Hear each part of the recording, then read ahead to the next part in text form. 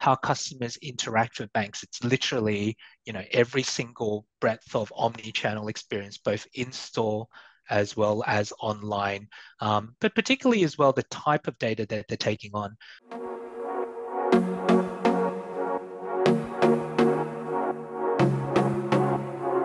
Welcome to another episode of Data Strategy Unraveled.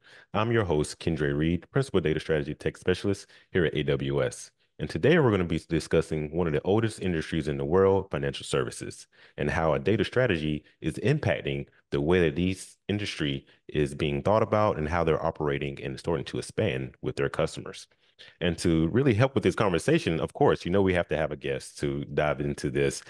Um, my good friend here, Jason Young. Hey, Jason, how you doing?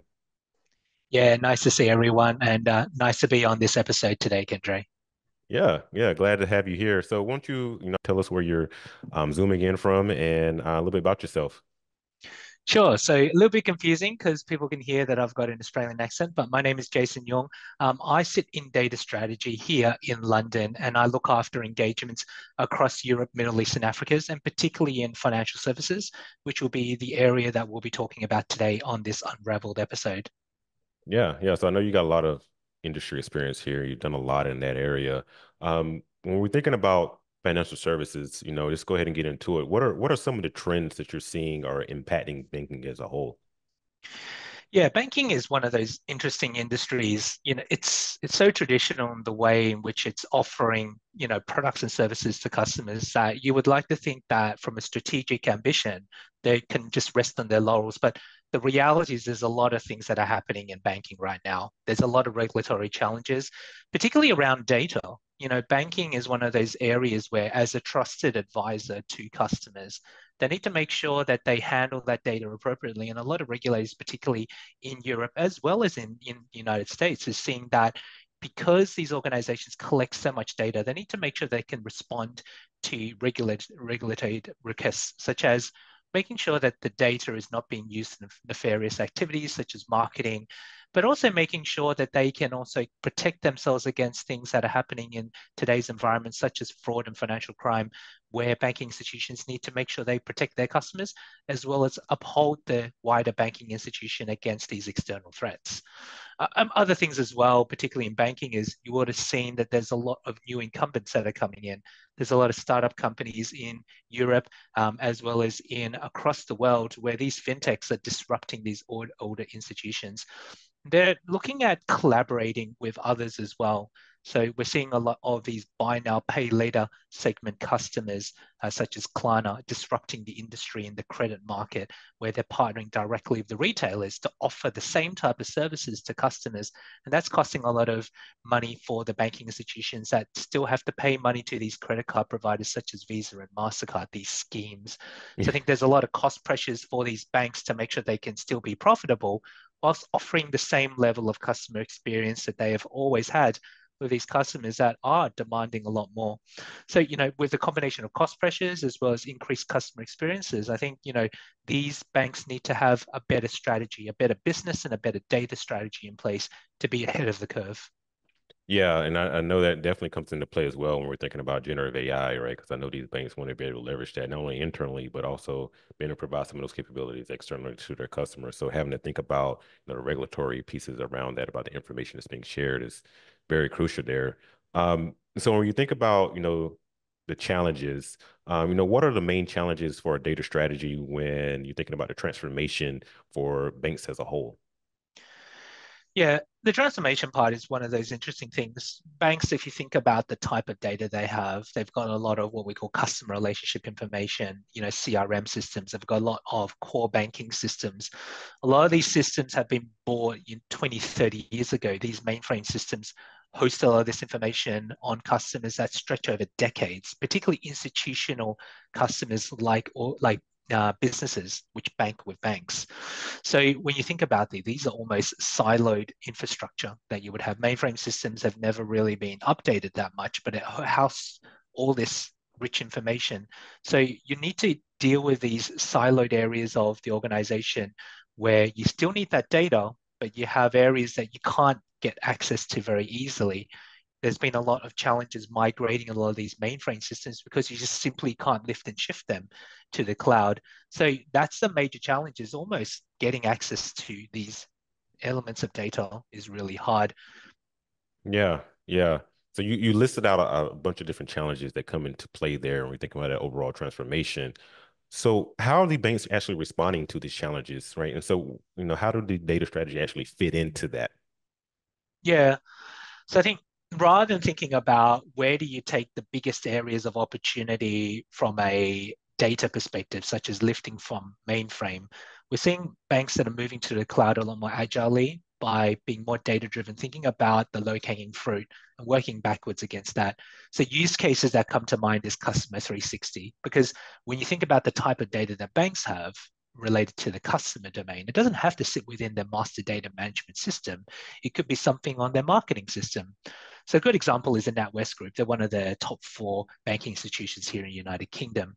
And they understood that in order to build those better customer experiences by understanding customer data better, they needed to start to federate out quality data. Mm-hmm. So they looked at the use case around customer lifetime value, trying to build out that from end to end but rather than going for the biggest area of data, they looked at areas of data that were sitting in easier places that they can lift it from to build out a very thin view of that customer lifetime value. And once you use that and you establish the, the building blocks of that customer domain, they could start to see the value. Where do we aim our opportunities around customer lifetime value and understanding the problem first to then build out that more holistic 360 degree view.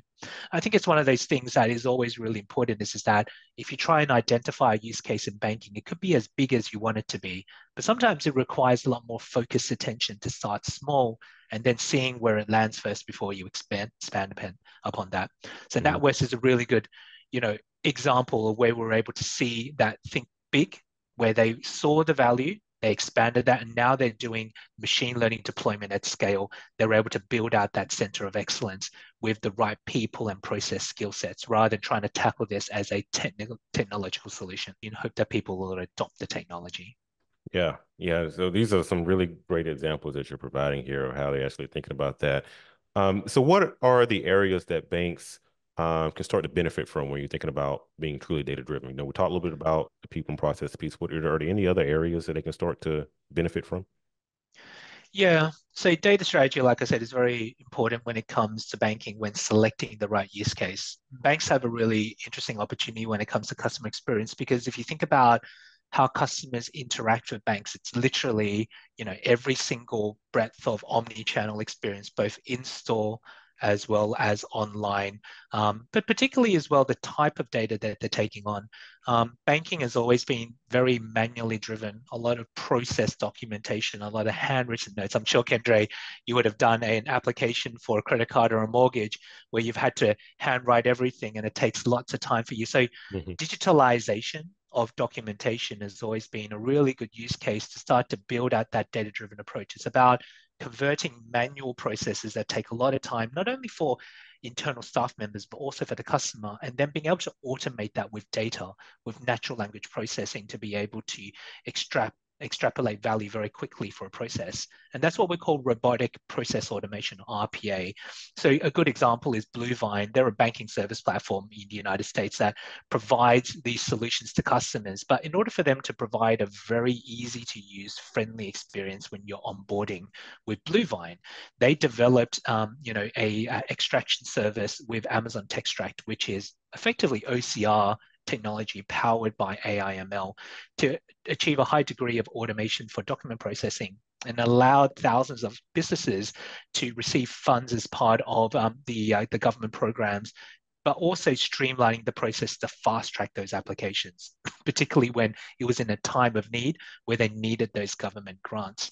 So they used the way of natural language processing and document processing to solve the problem that helped with customer experience, but it also leveraged the power of technology on the cloud. And that's something which banks have always tried to do, but they tried to do it themselves. But leveraging cloud technologies where it's purpose built, it was able to kind of build out that muscle, use that foundation capability to then scale it to other use cases. And that's what Bluevine was able to do now is um, scale that Amazon Textract service and now start to use generative AI. But you would have noticed that they didn't start with generative AI. It's yeah. not using that as the starting point. It's understanding the use case first in extraction for documentation and then moving to generative AI afterwards. Okay. Yeah, you've laid out a lot of examples here, especially how to take that, start from one part that start small and grow to that think big vision. So how do you suggest organizations, you know, get assistance or move forward when they're looking to do something like this, um, you know, with AWS or just in general?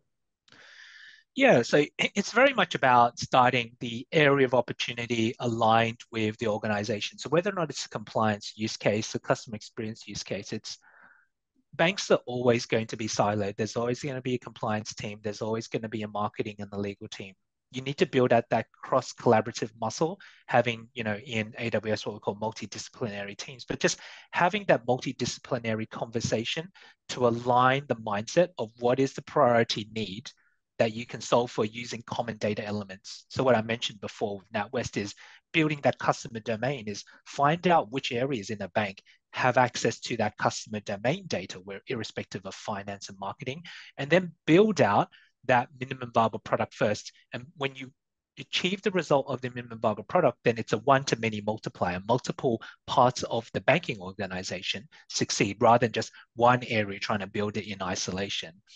And I think where we can help out with Amazon Web Services is that because we've always been very customer centric, you know, Amazon.com, we call ourselves the most customer centric organization.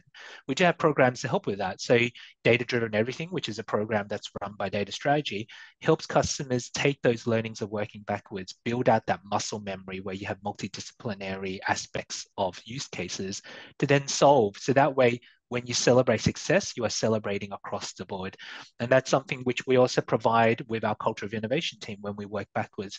So, very much it's about understanding the low hanging fruit, but has the ability to spread more widely when you solve for multiple organizational silos. Um, so it's very much, you know, if anything uh, comes down, it's breaking down those silos, making sure that people win as one team. But in banking, it's definitely something that we see more often than not is it's harder to break that mentality. But sometimes it just requires a little bit of time and a little bit of helping hand from external parties. Yeah. Well, thank you so much, Jason, for taking the time today to you know provide us with this knowledge. I know we really just scratched the surface surface, excuse me, when it comes to this industry. So definitely want to have you back in the future. Um, and if for our viewers, if you've been paying attention to our fast, uh, last videos, you've been noticing some reoccurring things around you know identifying that use case, starting small, and then growing to that think big vision that you have having those multidisciplinary teams, you know, two pizza teams that can have multiple functions. Um, and so if you haven't um, heard of those terms, definitely go back and watch some of our previous videos. Um, and again, thank you, Jason. Thank you for our viewers, and we look forward to seeing you all again in the next Data Strategy Unravel episode. Thank you. Thank you, and thanks for having us on this uh, episode.